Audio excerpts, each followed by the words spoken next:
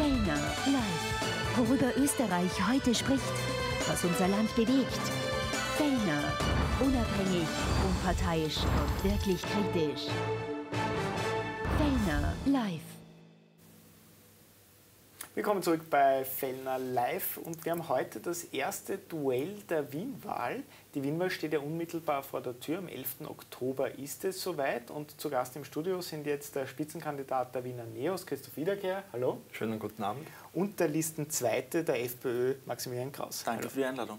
Ich würde gerne äh, mit Herrn Kraus starten. Ähm, vielleicht äh, ganz generell einmal gefragt. Die FPÖ liegt derzeit in Umfragen knapp zweistellig bei 10 Prozent.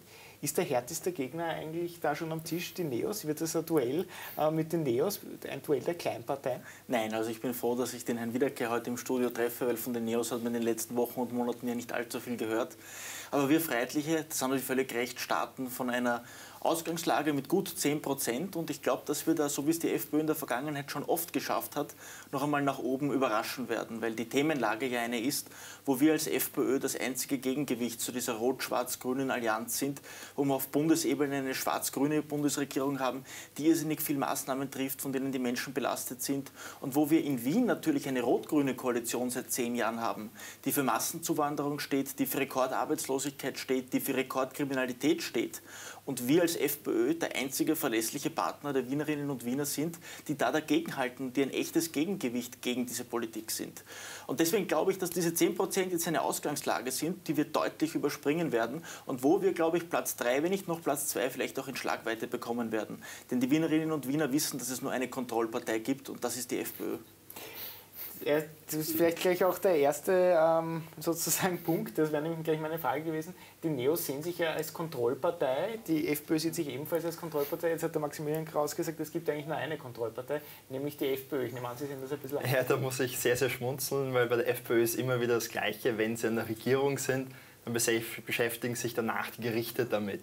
Und genau solche Parteien wie die FPÖ, die muss kontrolliert werden. Wenn ich da zum Beispiel an die Spesenskandale vom HC Strache denke, in den letzten Jahren, wo er sich wirklich die Taschen vollgesteckt hat und wenn ich mir da anschaue, wer dahinter ist, nämlich die jetzige Parteispitze der FPÖ Wien, die mit ihm gemeinsam in Wien im Präsidium war, die ihm hier auch diese Spesen freigegeben hat, dann braucht es ganz sicher eine Kontrollpartei in dieser Stadt, die genau so einen Filz, wie es auch die FPÖ zeigt, aufdeckt. Und das sind nur wir, das haben wir die letzten Jahre auch bewiesen. Ich glaube, da, um ganz kurz einzuhaken, Herr Stache, das können Sie sich mit ihm selber ausmachen, ich werde ihn definitiv nicht verteidigen. Aber bei Ihnen muss man schon sagen, die, wo dokumentiert ist, dass es große Geldmengen gegeben hat, die an eine Partei verschoben wurden, das sind nur Sie und Sie sind die einzige Oligarchenpartei. Das der Herr Haslinger in den letzten fünf Jahren, der Herr Haslinger in den letzten fünf Jahren, der Herr Haselstein in den letzten fünf Jahren Millionen in ihre, in ihre, Partei gepumpt.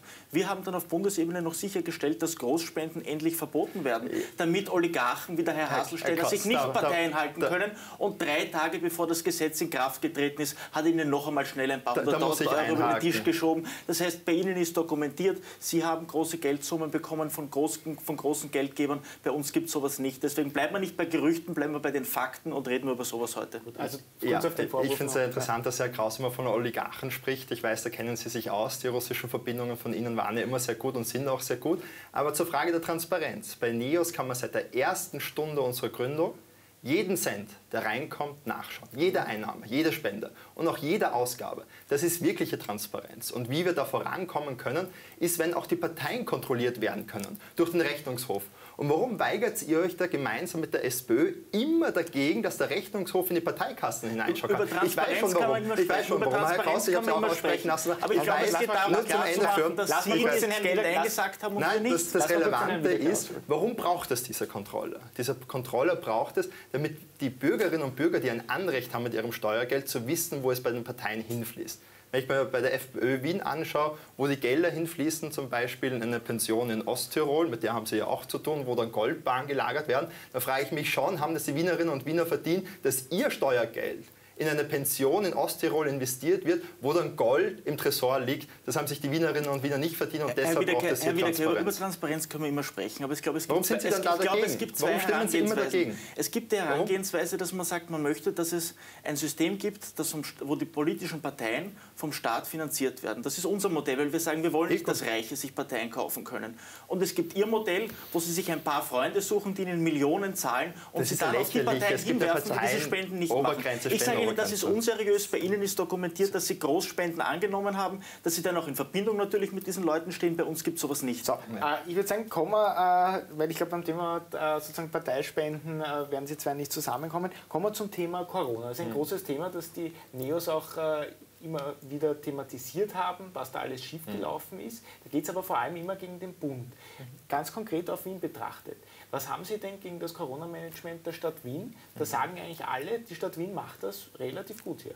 Nein, äh, wir müssen sagen, die gesundheitlichen Aspekte der Krise, die haben wir halbwegs gut überstanden in Wien, weil das Gesundheitspersonal Unglaubliches geleistet hat, obwohl es von der Politik im Stich gelassen wurde. Und die Wienerinnen und Wiener haben sich auch sehr eigenverantwortlich benommen. Aber in der Politik der Stadtregierung gibt es ganz, ganz viele Missstände noch bis heute. Zum Beispiel, alle wissen, es muss schnell getestet werden und die Testergebnisse müssen möglichst rasch dann auch vorliegen. In Wien dauern Testergebnisse an Schulen noch immer bis zu vier Tage. Heißt, Man weiß vier Tage lang nicht, ob ein Kind oder eine Lehrperson infiziert ist oder nicht. Das ist inakzeptabel. So ein Test muss innerhalb von acht Stunden möglich sein, dass die Testergebnisse vorliegen, weil das schafft Sicherheit und Klarheit und auch eine klare Perspektive für den Herbst, weil ich möchte offene Schulen im Herbst haben. Die FPÖ kampagnisiert ja gegen den Corona-Wahnsinn. Da Ja. gibt es viele, die, die ihrer Partei vorwerfen, ähm, dass man da Corona-Leugnern ein bisschen auch den Boden aufbereitet, dass Nein. das gefährlich ist, dass man das Virus verharmlost. Es geht nicht um Verharmlosung und es geht nicht um Corona-Leugnen, sondern es geht darum, sinnvolle Maßnahmen zu treffen. Und wenn wir erleben, dass es einen Lockdown gegeben hat und äh, irrsinnig viele Leute heute deswegen mit, mit Problemen betroffen sind, weil in der Folge nicht die richtigen Maßnahmen getroffen wurden, Hilfspakete zwar angekündigt worden, es irrsinnig viele Pressekonferenzen seitens der Bundesregierung gegeben hat, fast jeden Tag, wo zwei große Lügen verbreitet wurden, nämlich dass, schnell geholfen werden wird und dass genügend geholfen werden wird. Und in Wahrheit bei vielen, vielen Unternehmern und in der Folge dann auch bei den Arbeitnehmern heute noch immer keine echten Unterstützungen angekommen sind. Wir jetzt die Kurzarbeit noch einmal verlängert haben, aber viele, viele, viele Betroffene vielleicht nicht mehr in den regulären Arbeitsmarkt kommen werden, dann ist das ein massives Missmanagement der schwarz-grünen Bundesregierung, das jetzt noch nicht zu 100 Prozent sichtbar ist, aber zunehmend sichtbarer werden wird. Und deswegen brauchen wir jetzt eine Bundesregierung, die keine Showpolitik macht, die nicht nur Pressekonferenzen macht, sondern die echt und direkt hilft und den Betroffenen eine Unterstützungsleistung auch tatsächlich zukommen lässt. Und auf Wiener Ebene haben wir andere Probleme. Auf Wiener Ebene schließe ich mich völlig an. Wir brauchen Schulen, die eine Gewissheit haben, dass sie im Herbst aufsperren können. Wir brauchen keine Panikmache. Wir brauchen ein System und eine Testpolitik, die das ermöglicht. Aber genauso bräuchten wir auch eine Politik in Wien, wo Vergaben auch und wo, und wo äh, äh, Geld, äh, Geldmaßnahmen, die im Zuge der Corona-Politik gesetzt wurden, echt transparent erfolgen und auch kontrolliert werden können. Wir haben da zum Beispiel als einzige Partei dagegen gestimmt, vor einigen Monaten, dass die Messe für Monate seitens der Stadt Wien für eine Corona-Halle gemietet wird. Das kostet 70.000 Euro am Tag. Das sind, wir sind schon bei vielen Millionen. Und in dieser Halle gab es überhaupt keine Patienten bis dato, außer einmal ein paar Asylanten, die dort eingewiesen wurden. Hier wurden Millionen verschoben, ohne dass es einen Bedarf gegeben hat. Wir hören aus Rettungskreisen, es gibt das ehemalige Krankenhaus Floridsdorf, das leer steht, wo man eine perfekte Fläche gehabt hätte. Hier hätte man Geld sparen können, hier hätte man Gelder besser verwenden können. Und auch hier braucht es eine FPÖ, die auf diese Dinge hinweist.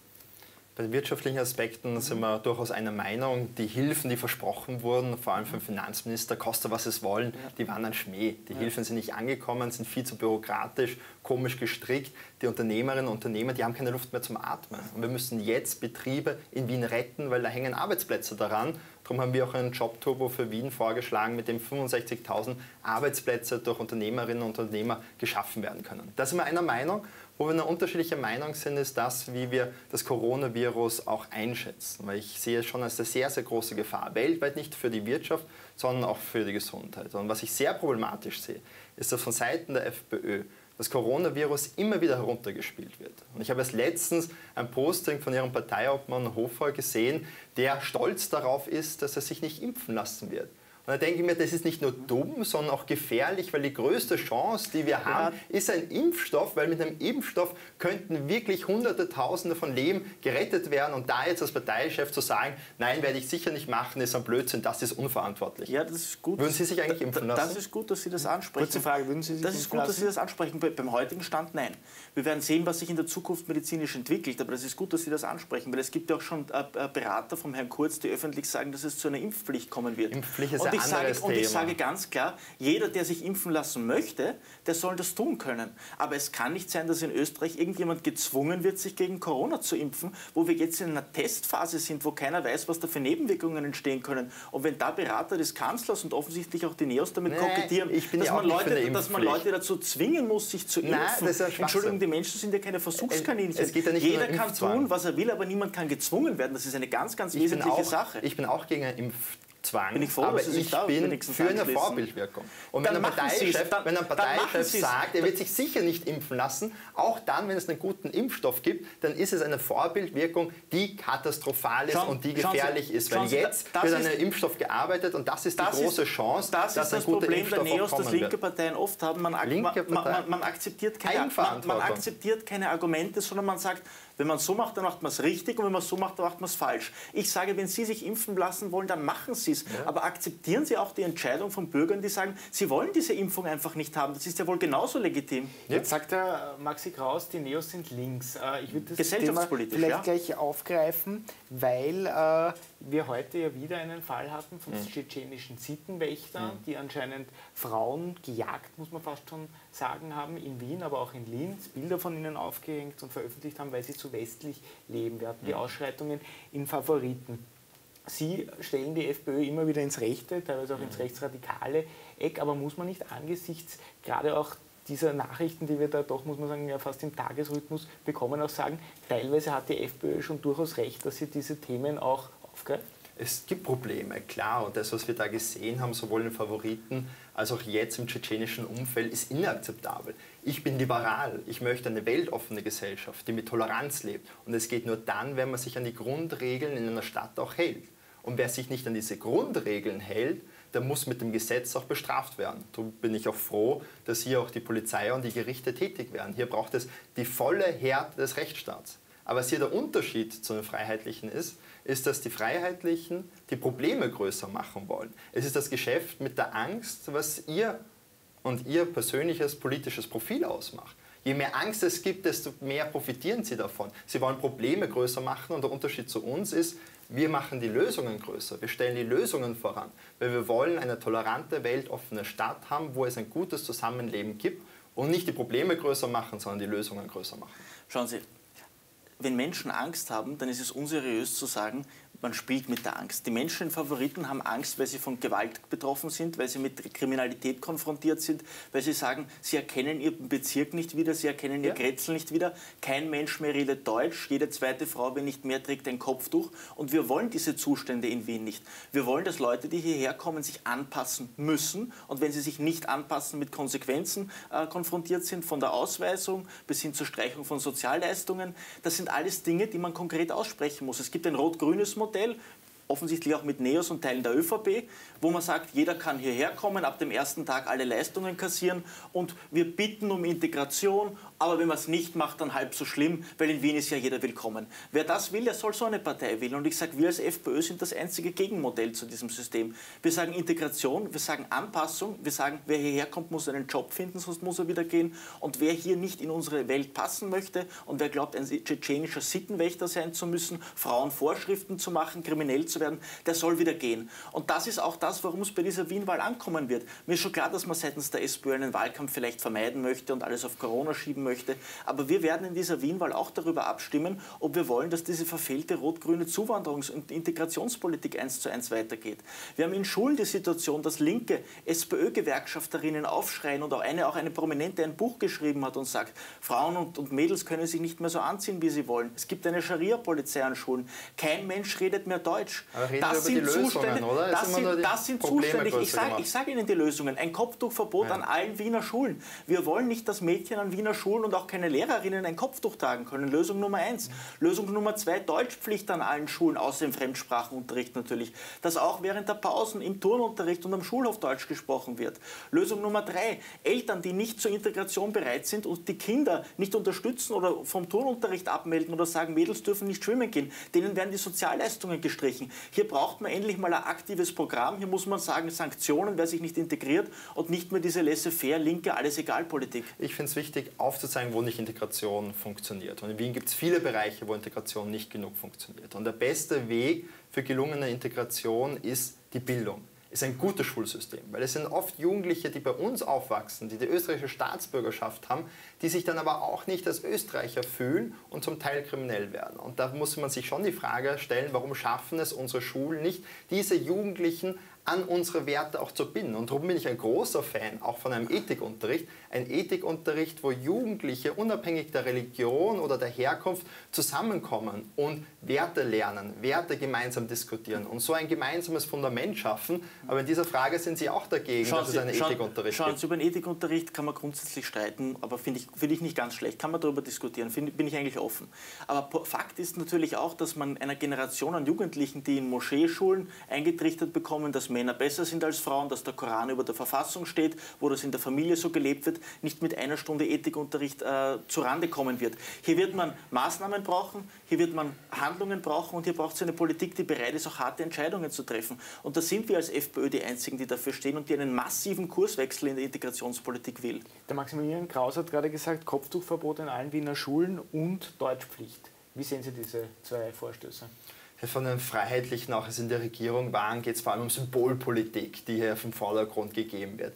Nur mit einem Kopftuchverbot werden noch keine Probleme gelöst, Wir werden weil noch mehr ob machen jemand müssen, ein aber es ist einmal ein Kopftuch am guter erster Schritt, oder? oder nicht, ist noch nicht Das ein ja Zeichen, ob man sich in die. Gesellschaft einführt. Aber nicht als. Einzelmaßnahme, Mit mit halte ich für fragwürdig und vor allem auch Lehrpersonen oder äh, junge Erwachsene mit 16, 17, die sich frei dafür entscheiden, denen möchte ich nicht als Staat vorschreiben, Nein, das Kopftuch abzunehmen. Ja, Eigenverantwortung Auch auch, in einer Gesellschaft. Ja, auch. Lehrerinnen und Lehrer. Wo es eine andere Ja, Frage und- ist, ist dann bei Minderjährigen, und die genau- natürlich noch keine Religionsmündigkeit 16-jähriges erreicht Minder- auch ein haben. 16-jähriges Aber darüber hinaus soll es schon die freie Entscheidung auch geben und das unterscheidet uns auch natürlich, weil wir gehen auch von einer Eigenverantwortung Ja, aus aber und ein Staat Sie- Sie muss recht, natürlich sich bemühen, um gute Integration. Aber gute Integration ist nicht nur eine Symbolpolitik. Und an der Regierungsbeteiligung der FPÖ hat man gesehen, es werden die Probleme größer gemacht, größer gemacht, größer gemacht. Die einzige bildungspolitische Diskussion, die es gab, war das Kopftuchverbot. Nein. Vollkommen widersinnig. Eine es braucht Antwort, dafür andere Maßnahmen. Eine Antwort, wir haben das auf Bundesebene umgesetzt, was wir in Wien schon Jahre verlangt haben,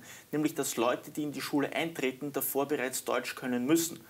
Und wir haben die eigenen Deutschklassen durchgesetzt, dass Schüler, die bevor sie Die in die Schule eintreten, Deutsch, ler. Deutsch lernen. Und im ganzen Gegenteil, die meisten Studien zeigen, dass sie sehr gut funktionieren und dass es ein wichtiger Schritt ist. Und ich habe sogar mit betroffenen Schülern gesprochen. Und im Gegensatz zu den Neos haben wir ja auch in Wien einen Abgeordneten, der Migrationshintergrund hat, der in Serbien geboren wurde. Und der, dire 100%. und, der, und der direkten Kontakt hat mit, ähm, mit Menschen, die davon betroffen sind und die das auch gut finden. Sie reden immer wie ein Blinder von der Farbe, sprechen Sie mit den Betroffenen, auch die finden das gut. Äh, Herr Wiederkehr, Sie werfen der FPÖ ja immer wieder vor, am Rechtsextremismus anzustreifen, Stichwort auch Identitäre. Ähm, sehen Sie das äh, bei der aktuellen Liste, die da jetzt erstellt wurde, auch? Ja, massiv. Auch eine Ursula Stenzel, die wieder, obwohl sie gesagt hat, sie zieht sich aus der Politik zurück, wieder kandidiert, ist ein Zeichen dorthin. Frau Stenzel ist mitgegangen bei einer identitären Demo mit einer Fackel an vorderster Front, hat dort eine Rede gehalten, hatte dann irgendwelche Ausreden, dass sie nicht wusste, wo sie war, hat sich nicht informiert. Das ist schon die Verantwortung von Politikerinnen und Politikern, nämlich zu wissen, wo man auftritt. Und die FPÖ, das sind ja keine Einzelfälle. Rassismus und auch korrupte Machenschaften stehen hier an der Tagesordnung. Die FPÖ ist hier Serientäter, das sind ja keine Einzelfälle, die wir hier sehen. Dieser rechte Rand, der ist ganz, ganz stark innerhalb Schauen der Sie, wenn. Sie glauben, der Frau Stenzel, die einen jüdischen Familienhintergrund hat, irgendwie in die Nähe des Rechtsextremismus rücken zu wollen, dann machen Sie das bitte. Ich persönlich halte es für absurd. Ich glaube, sie ist eine Grand Dame der Wiener Innenpolitik. Sie hat Europa-Erfahrung gesammelt. Sie war lange Zeit bei der ÖVP, hat sich dort nicht mehr zu Hause gefühlt, weil sie gesagt hat, sie steht für eine andere Integrationspolitik und tritt jetzt noch einmal für die FPÖ an und tritt vor allem auch im ersten Bezirk an, weil sie sagt, diese schwarz-grüne Packelei vom Bezirksvorsteher Fiegel mit der Frau Vizebürgermeisterin Heben, die stößt ihr sauer auf. Und sie will im ersten Bezirk nicht, dass es zu einer autofreien Zone kommt. Sie will nicht, dass Autofahrer weiter zu Bürgern zweiter Klasse degradiert werden und grüne Symbol- und Verkehrspolitik auch im ersten Bezirk weiter Einzug herrscht. Und da kandidiert sie im ersten Bezirk. Ich glaube, sie hat gute Chancen, noch einmal ein sehr, sehr respektables Gott, Ergebnis hin, hinzulegen. Darf, und da müssen Sie sie nicht diffamieren. Gott, wenn ich da ganz kurz einhaken darf, ja? ähm, was ein bisschen äh, nicht stringent ist, ist, Ihr Parteivorsitzender Norbert Hofer hat gesagt, jeder, der bei den Identitären anstreift und mit denen zu tun hat, soll aus der Partei ausgeschlossen mhm. werden. Ursula Stenzel hat vergangene Woche und auch hier diese Woche noch einmal bei Fellner Live gesagt, naja, äh, sie würde an dieser Demonstration, an dieser Kundgebung noch einmal teilnehmen. Ja, Wie passt denn das zusammen? Aus einem einfachen Grund, weil sie sagt, und das glaube ich hier, dass sie nicht von den Identitären, sondern vom Wiener Akademikerverband, einer ehemals der ÖVP nahestehenden Institution, eingeladen wurde. Sie sagt ganz Aber klar, sie lässt sich nicht, sie sagt ganz klar, sie lässt sich nicht vereinnahmen von Rechtsextremen. Macht sie nicht. Aber sie sagt, dass die Sache, wofür sie demonstriert hat, nämlich gegen Islamisierung, mhm. dafür, dass Wien, dass Wien 1529 und 1683 sich durchgesetzt hat gegen die Türken und dass sie auch heute keine, äh, keine weitere Islamisierung Wiens möchte, das sind ihr wichtige Anliegen. Und grundsätzlich hat sie mit diesen Anliegen ja recht. Und dass sie irgendwas mit den Identitären dazu tun hatte, das kann man ja nur manipulativ unterstellen und nicht ernsthaft glauben. Man kann glauben. sich ja davon distanzieren, was sie ja auch nicht macht. Aber da merkt man das systemische Problem der FPÖ, ja, das systemische die einfach Problem. rechts Sie reden immer, sie, sind sie rechts, werfen immer mit irgendwelchen Rahmen, Floskeln um sich. Sie werfen immer mit irgendwelchen Floskeln um sich. Und es geht um eine Frage. Ist, Moment, Herr Kraus, einen Moment, Herr Kraus, ich war dran. Es geht da auch eine Frage vom Anstand. Und die Anstandsfrage ja. ist nicht, nur sich von Rechtsextremen zu distanzieren, was die Freiheitlichen ja. nicht machen, sondern Anstand ist auch in der Politik, sich daran zu halten, was man sagt. Frau Stenzel hat gesagt, sie zieht sich zurück aus der Politik. Jetzt einfach doch wieder zu kandidieren als nicht amtsführende Stadträtin, ja, ja, ja. hat sie einen schönen Job, sie ja auch, einen schönen Versorgungsjob. Nicht amtsführende Stadträte kosten Wiener Steuerzahler pro Jahr über eine Million Euro. Eine Funktion ohne echte Aufgabe, ein Proportjobs da sieht man, dass der Politikapparat in Wien extrem aufgebläht ist. Und wer da immer mit dabei ist, sind die Freiheitlichen. Das sind Sie. Weil Herr Ihnen geht es darum, noch mehr Steuergeld, noch mehr Steuergeld zu bekommen und somit die Wienerinnen und Wiener auch auszusagen. Herr, Herr Wiederkehr, Sie stehen einer Fünf-Mann-Fraktion vor und kassieren dafür als Clubobmann gleich und jetzt viel. Sind wir Umfrage gleich, fast gleich, gleich auf. Gleich, ja. Sie, Sie lassen Sie mal ausreden. Sie ja. stehen einer Fünf-Mann-Fraktion vor und kassieren dafür als Clubobmann gleich viel wie ein SPÖ-Clubobmann mit 40 Abgeordneten und ein FPÖ-Clubobmann mit 30 Abgeordneten. Ich will das nicht auf Ihrer persönlichen Ebene thematisieren, aber weil Sie es immer machen, also denken Sie mal darüber nach. Und zu Frau Stenzel. Die Frau Stenzel weist auf Probleme hin, die die Wienerinnen und Wiener massiv stören. Ich habe mit den Identitären wirklich nichts zu tun, aber ich sage Ihnen ganz klar, in Wien werden die nicht als Problem von der Masse der Wiener Bevölkerung wahrgenommen. Die Wiener Bevölkerung hat ein Problem mit Massenzuwanderung, sie hat ein Problem damit, dass hier Leute in die Stadt und ins Land geholt wurden, die sich nicht integrieren, die islamische Parallelgesellschaften heranzüchten, wo wir in Wien die Situation haben, dass über die Hälfte der Mindestsicherungsbezieher keine Staatsbürgerschaft haben und unsere Steuergelder massenweise für Ausländer rausgehaut werden. Das sind die Themen, die den Wienerinnen und Wienern unter den Nägeln brennen. Und wenn die Frau Stenzel da auf das Thema hinweist, dann verwehre ich mich dagegen, dass Sie da versuchen, das in irgendein falsches Licht zu rücken. Und wenn Sie sagen, Sie versucht es noch einmal anzutreten, ja, die Neos haben, als sie gegründet wurden, vor zehn Jahren auch gesagt, man darf bei uns nur zwei Perioden machen. Erinnere ich mich noch gut. Drei. Bin ich sehr gespannt, ob Sie sich dann alle dran halten werden. Bin ich sehr, sehr gespannt. Schauen wir es uns an. Beweisen Sie es gerne. Sie werden drankommen. Aber wenn die Frau Stenzel jetzt noch einmal einem ÖVP-Bezirksvorsteher, der mit den Grünen kokettiert und sich offenbar auch schon eine schwarz-grüne Flirt hier in Wien anbat, den Federhandschuh hinwirft und sagt, wer eine konservative Politik im ersten Bezirk will und keinen schwarz-grünen Flirt, der muss FPÖ wählen, dann finde ich das gut. Ah, Sie, äh, vielleicht noch abschließend zum Thema Verkehrspolitik auch. Mhm. Die autofreie City ist jetzt schon ein paar Mal angesprochen worden. Wie stehen eigentlich die Neos zu diesem Vorschlag? Ist das gut? Ist das schlecht? Ist das teilweise gut? Das ist teilweise gut. Was jetzt die Grünen daraus machen, ist sehr, sehr schade, weil sie missbrauchen das Thema wegen Wahlkampftaktik. Autofreie Innenstadt ist ein Schmäh. Ich möchte auch keine autofreie Innenstadt. Aber ich möchte in einer Stadt, die lebenswert ist. Ich möchte in einer Stadt leben, in der es auch genug Platz für Fußgänger, also für Radfahrer gibt. Ja, genau. Und ein Konzept der Verkehrsberuhigung für den ersten Bezirk ist sinnvoll. Da haben wir auch ähm, länger mitgearbeitet, seit 2015, weil eine Verkehrsberuhigung heißt mehr Lebensqualität, heißt auch mehr Menschen, die dort sind und einkaufen. Das ist für die Betriebe auch gut so eine Verkehrsberuhigung, davon profitieren alle. Nur hier unterscheiden wir uns wieder von den Freiheitlichen, die hier aus Prinzip gegen jegliche Veränderung des öffentlichen Raums in Wien auch auftreten. Ja, dass, dass Sie da mitgearbeitet haben, überrascht mich nicht, weil es ist ein absolutes Chaosprojekt geworden, die verkehrsfreie City. Mich hat gestern zum Beispiel ein praktischer Arzt aus dem ersten Bezirk angerufen, der gesagt hat, er muss sehr, sehr viele Hausbesuche machen, quer durch den ersten Bezirk. Er wäre nicht davon betroffen, eine Ausnahme zu haben, um mit dem Auto diese Hausbesuche absolvieren zu können. Und da könnte man viele Beispiele nennen. Es ist ein totales Chaos. Es sind Ausnahmeregelungen geplant, an manchen Stellen, wo man sie nicht bräuchte. Ganz wesentliche Personen wie Ärzte werden vergessen. Und wenn Sie von der Wirtschaft sprechen, dann ist für mich auch völlig klar, auch die Wirtschaftskammer hat sich dagegen ausgesprochen. Die Unternehmer wollen nicht, die eh schon Corona geplagt sind, dass man nicht mehr zufahren kann. Die Leute wollen einkaufen können. Es gibt keinen Grund, hier weiter weiter nur gegen Autofahrer zu hetzen und Politik gegen Autofahrer zu machen. Suchen wir einen Konsens, suchen wir ein Miteinander und bauen wir nicht sinnlose Pop-up-Radwege, wo keine Fahrradfahrer fahren, weil sie sie nicht brauchen, nur damit Autofahrer schikaniert werden. Bauen wir keine sinnlosen Pools am Gürtel, die nicht benötigt werden, wo sechs Leute gleichzeitig drin sein dürfen, sondern machen wir eine echte Verkehrspolitik, die ausgewogen ist und die nicht nur darauf aus ist, Autofahrer zu sekieren. Ja, aber eine Verkehrspolitik ist mehr als nur eine Autofahrerpolitik. Ich sage Ihnen ja, wir wollen eine ausgewogene. Ich sage Ihnen, wir wollen eine ausgewogene. die unterschiedlichen wir werden es geht darum, es geht darum, Verkehrs beispielsweise. Es geht darum, die unterschiedlichen Verkehrsteilnehmer auch gleich zu behandeln und ihnen auch viel Aufmerksamkeit zu geben.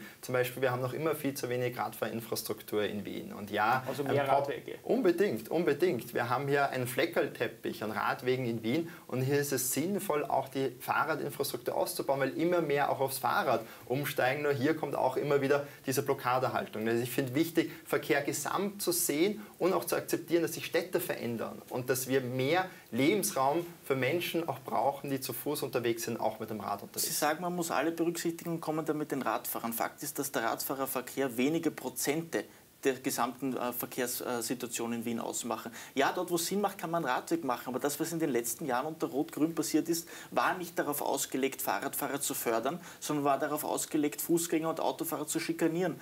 Pop-up-Radwege zu machen, wo sie keiner braucht, ganz hier in der Nähe verschiedenste, im 22. Bezirk, auf der Türkenstraße, im, äh, im 1. Bezirk, Grenze 9. Bezirk.